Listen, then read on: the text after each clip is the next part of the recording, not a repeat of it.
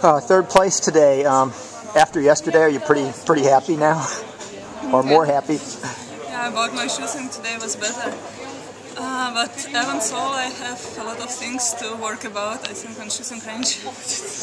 But the wind was a huge problem yesterday. Uh, wind? Yeah, yesterday. Yeah, was a problem with wind, but I think was also some. Not only wind was my problem.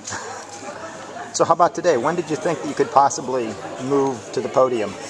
Uh, yeah, when I come to last shooting range, uh, I was yeah, really concentrated on shooting and um,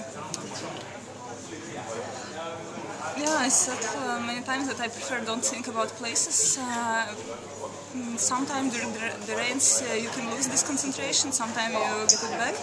And in last shooting I get it back uh, after my two mistake. And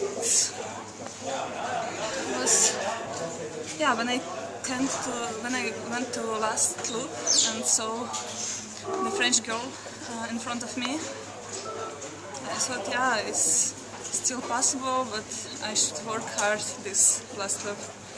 Yeah, you saw this fighting was uh, yeah I think uh, during all track uh, during all, all loop until almost till finish line.